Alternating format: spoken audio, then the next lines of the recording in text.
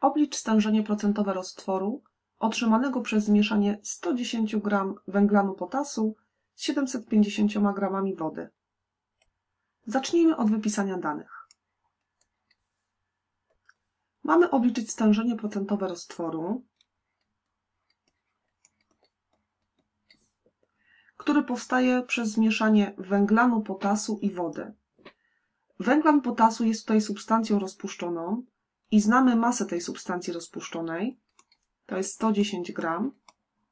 Natomiast woda oczywiście jest tutaj rozpuszczalnikiem, czyli mamy masę rozpuszczalnika, zapiszmy rozy P, wynosi 750 gram.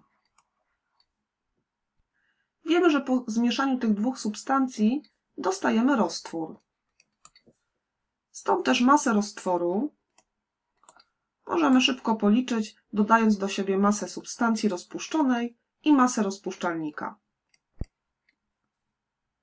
Czyli dostajemy masę roztworu, to jest 110 gram plus 750 gram, co nam daje 860 gram. Aby policzyć stężenie procentowe, możemy wykorzystać wzór. Stężenie procentowe to jest masa substancji rozpuszczonej przez masę roztworu razy 100%. Podstawmy nasze dane.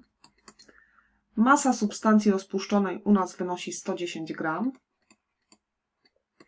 Masa roztworu obliczona przed chwileczką to jest 860 gram.